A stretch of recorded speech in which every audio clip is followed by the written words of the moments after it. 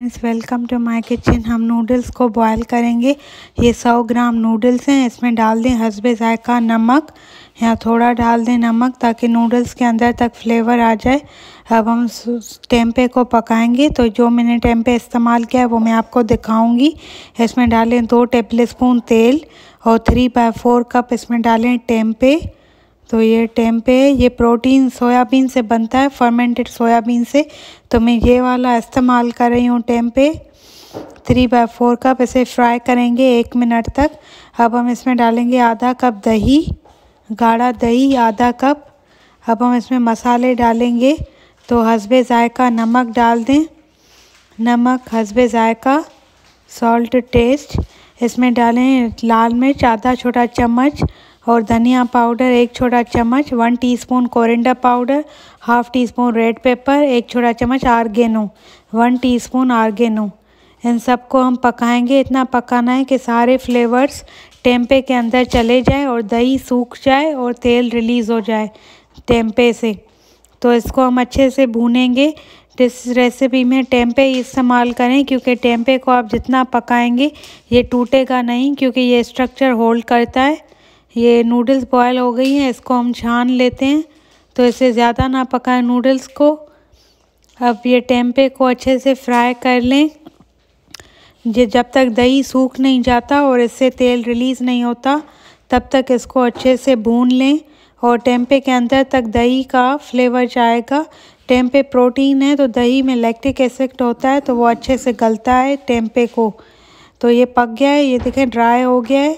अब हम इसमें डालेंगे दो टेबल स्पून बटर और अब हम इसमें डालेंगे चार लहसुन की कलियाँ, एक हरी मिर्च four garlic cloves one green chilli तो ऐसे अब हम पकाएँगे, भूनेंगे। जब तक लहसुन और हरी मिर्च पक नहीं जाती, इससे क्या होगा? टेम्पे के अंदर लहसुन और हरी मिर्च का भी जायका आ जाएगा।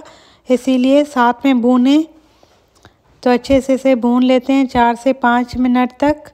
तो ये लहसुन की अच्छी खुशबू आ रही है, हरी मिर्च भी पक गई है। तो अब हम इसमें डालेंगे शिमला मिर्च, गाजर, प्याज।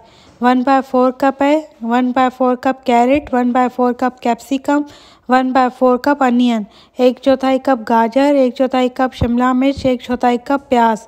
सबको भून लें, हाई फ्लेम पे पाँच मिनट तक, ताकि सब्जियों को थोड़ी क्रंची रहें और पकी हुई भी हो। अब हम इसमें सॉसेस डालेंगे। तो सबसे पहले हम इसमें डालेंगे एक tablespoon sweet chilli sauce one tablespoon sweet chilli sauce और इसमें डालेंगे आप one tablespoon balsamic vinegar अगर आपके पास वाइट विनेगर है तो आप वो भी इस्तेमाल कर सकते हैं। इसमें अब हम डालेंगे एक tablespoon dark soya sauce अगर आपके पास लाइट सोया सॉस है तो आप वो भी इस्तेमाल कर सकते हैं। तो अब हम इन सबको पकाएँगे। सॉसेस को पकाना बहुत ज़रूरी है। विनेगर और सोया सॉस को तो इसे अच्छे से भून लें चार से पाँच मिनट तक ताकि सॉसेस का फ्लेवर टेम्पे के अंदर चला जाए। तो इसे मैंने भून लिया है दो से तीन मिनट तक। अब हम इसमें डालेंगे उबली हुई नूडल्स जो मैंने छान के रखी हैं। तो ये देखें अच्छा कलर आ गया है सब्जियों के ऊपर सॉसेस की वजह से। अब हम इसमें ये नूडल्स डाल देंगे। तो इसमें ये नूडल्स डाल दें और इसे एक मिनट हाई फ्लेम पे पकाएँ। सारी चीज़ों को हाई फ्लेम पे एक मिनट टॉस करें मिक्सिंग करें। बस ये एक मिनट के बाद रेडी हो जाएगी सर्व करने के लिए। तो ये देखिए मैंने इसकी अच्छे से मिक्सिंग कर लिए और कलर भी अच्छा आया है। बिल्कुल बाज़ारी नूडल्स लग रही हैं ना। टेस्ट भी इसका बहुत अच्छा है। Thank you for watching. Please like, share, comment, subscribe. Your views a lot. Press bell icon button घंटे के बटन को ज़रूर दबाएँ फिर मिलते हैं एक नई वीडियो में अपना ख्याल रखें thank you for watching yummy tempeh noodles are ready to enjoy thank you please like share comment subscribe thank you